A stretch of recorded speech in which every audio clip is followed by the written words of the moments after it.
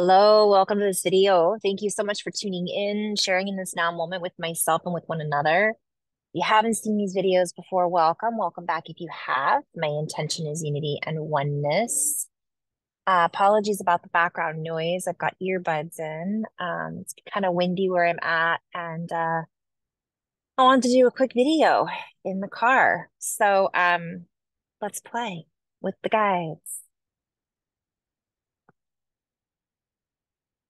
And as we sit within this time frame, as we sit within this frame of time, if you will, it gives us a certain amount of variation. It gives us the ability to frame out the variety of ways we would like to play, if you will, with these energies that are incoming.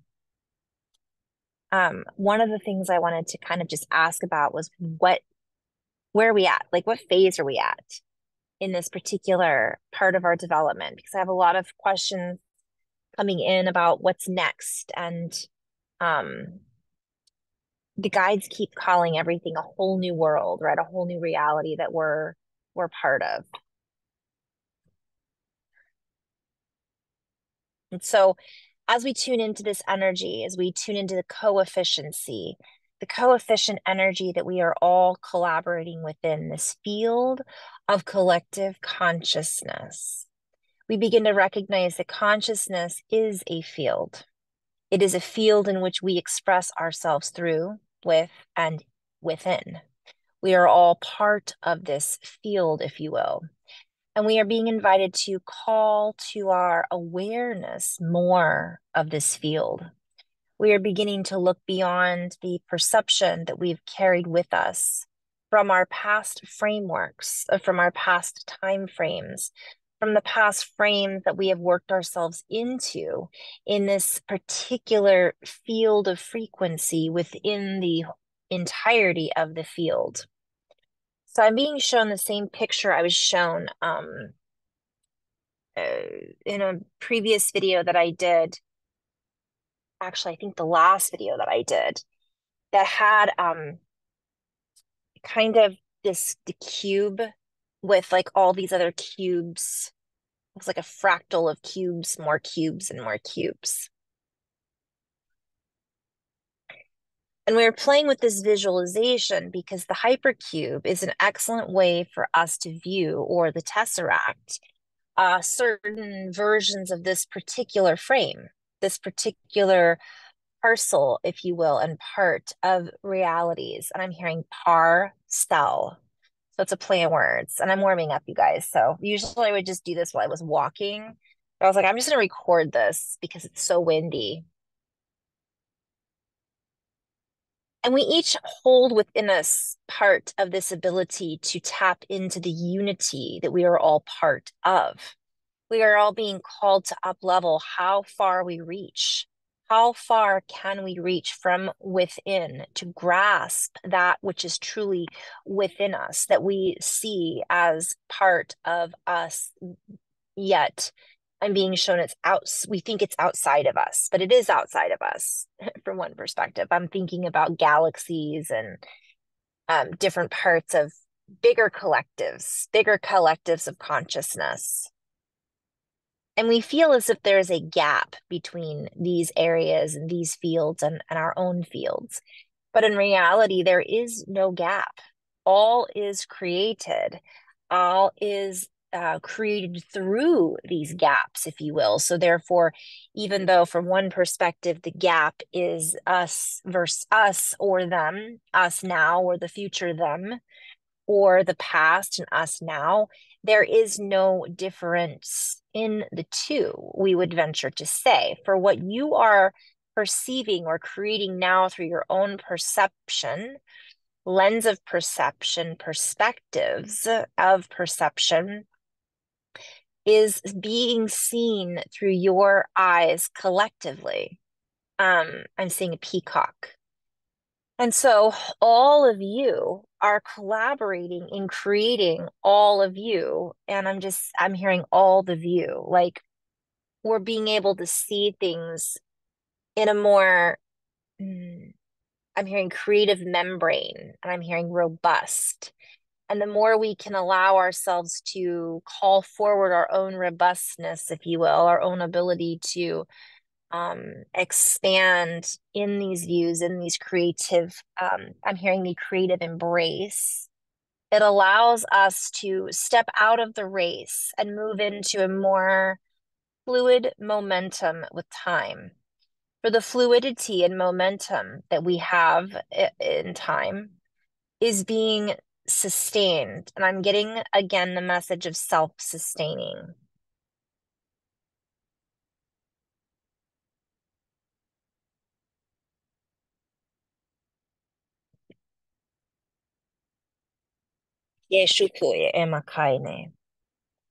And the ability to contain oneself within this fluid dynamic interpretation of reality is coming to a change we are changing. And as we change, so too does the ability to kinetically move through this landscape of inner domains and inner um, domains within the domains. We're going a bit quantum as we speak on this because it is time to really focus for some on the quantum. Um, oh, and I'm hearing I'm seeing quantum tunneling. The old versus the new. For many are afraid of the new. Many are not aware that they are already wrapped up within what they perceive as new. It has already been created. For time does not work in the same way that we interpret it. It is something that we are co creating in real time. Therefore, our own abilities and mechanisms within which we learn to interpret time is changing and shifting. As we change and shift the way we interpret time, the way in which we interact with that, with time, or with the uh, medium that time gives us the perception of working with, or we have the perception of working with through the modality that is time it changes as well. And if we change our relationship with that, we change our relationship with time. And what is a relationship?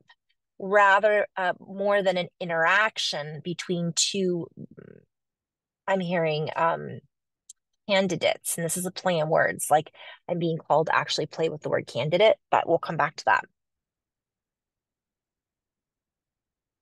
we are being called to reunify with aspects of ourselves that are future versions or transcriptions of ourselves. These future versions of ourselves that are here now within our own DNA transcription that we can read in this now moment because the transcription is embedded within the DNA artwork, if you will. So it's a play on words with artwork, it's like medium art like how great thou art. It's all embedded in us now. So as we allow ourselves to open up and read the transcriptions that are inscribed on our dna we begin to play with the future now and we begin to resonate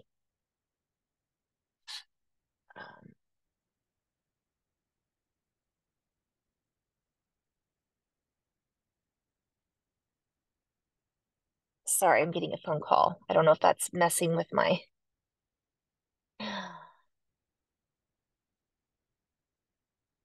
Have to pa- I don't know how to pause this. Ah, okay.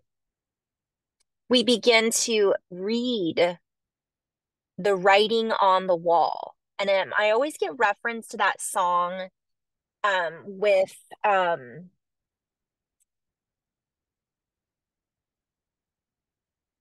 is it Simon and Garfunkel, right? Or the sounds of silence, like words of the prophets are written on the subway walks. Or and I'm also seeing like the pyramids. I'm seeing a reference to um the pyramids. I'm seeing a reference to I'm just seeing a reference to a bunch right now you guys, the energies are pretty strong right now. So I'm trying to kind of collaborate with them a little bit more fluidly and it's challenging in my current tired mental state. And so, if we can look a little deeper and we can allow ourselves to look inside of the codes that we are not only providing in this video, but what each and every person or human carries within them, we begin to open to the possibilities and potentials that this communion, that this communication can be accessed at any given moment. And what communication are we speaking of? We are speaking of the transcription that is written on and inside your own um I'm just seeing body, but I'm also seeing like vehicle, right? Vehicle for travel, vehicle for interpretation, the medium that we are encapsulated within. And so, as we allow ourselves to read between the lines, we begin to transcribe and infer what the information is that is stored within the human template for what has happened in the future plan words what has happened. Like you could say what has happened in the past or what has happened in the future. It's like they're showing me this infinity loop like nothing is you know it's back forward front back it's all connected.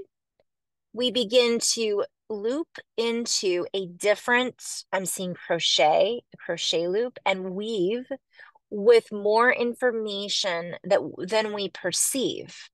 Or we begin to perceive the information that is already woven within the human template.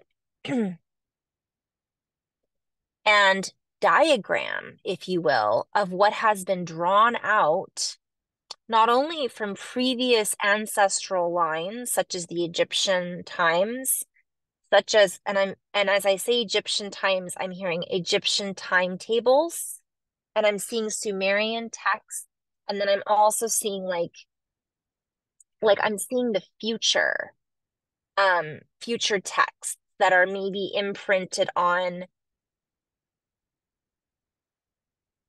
for whatever reason i'm hearing things that we think are from the past so what i'm being shown is like time travelers like people came from the future came back to the past gave us these templates and structures and so what we're actually reading is from the future, but we think it's from the past, if that makes sense. For those of you who are really confused by time, I could see this being very confusing, but they're trying to show me that's exactly what's happened. And so, therefore, your own ability to decode this can come from within because you are part of that heritage each and every one of you carries information inside of your own template that can allow you to un um, decode and unfold from this source connection. Now, why would we bring this up right now? For it seems as if it's unimportant to be able to transcribe information from the future, especially if we are co creating the future now. But we are meaning to tie this together and i'm seeing the golden means i'm seeing infinity i'm seeing like codes and spirals we want to tie this together so that you understand that you are creating reality now for the future and that which has already been created even though you are describing it now that may seem as if it is from the past because you are reading it and changing how you interact with it, you are changing the future that has already happened. And in essence, you are also changing the past in your own way. This is confusing. And we might hesitate to say this or share this information, but each and every person will hold their own truth or information or their own truths and assimilate it in their own way. And each of you is here to play in this field of assimilation, play on words. And I'm hearing simulation. And we remind you that even though some say this is a simulation, you are still creating energetically through communication with all mediums that are connected through whatever is connected through the matter. So even though this may seem as if it is a template or a structure that is um, being um, patterned or controlled from an avatar, because this is the story that is being projected through a perspective of realizations from other humans, it doesn't matter because you still are feeling and interacting with this as if it is real because the body or the um, template of source frequency is part of all things. So, therefore, all things are real from one perspective. So, we invite you to sit back and enjoy the ride a bit more. We invite you to sit back and allow yourself to use your imagination. Allow yourself to imagine what could be. Allow yourself to imagine what could possibly be real if we wanted it to be so. If we were able to see the future now, if we were able to close our eyes and perceive that it was right here now, what would that feel like? What would it smell like? What would it be like and be like that in this now moment? Meaning, pull and comp, uh, compile, if you will, plan words. I'm seeing that has to do with the resonance and fabric. That energy from your being, from your essence now. And if you close your eyes and view future as a scary place to be, that fear is what is compiling from inside of you. That is what piles up from within you and changes the future to more of what you are uh, of the essence of. For you are the essence of that. You are the um, quilt, if you will, that is being quilted. You are the quilt maker. You are part of this interwoven design that, okay, I'm being shown that artist that I, I can't remember, but he's got like his hand, and out of his hand is coming the paper, and out of his paper is, is coming the the drawing, and it's all merged into one fabric. And they're basically like the guys are like, that's what all of this is. So use your imagination and don't, because what you're imagining, what you're afraid of, is creating more of that, of course. And while this is a collaboration, and while this is a collective of chords and chords of consciousness and elements of spice and fear and love and bliss and light and dark, for those of you who are seeking to clear out these old templates that are no longer a part of the temple that you wish to, um, I'm hearing plan words, I'm hearing worship from, and I'm hearing worship, and I'm hearing the ship that was. Like, we don't want necessarily to create that anymore. It isn't already created if you are changing it now. Therefore, you can create the future now and change that. I'm being shown what a um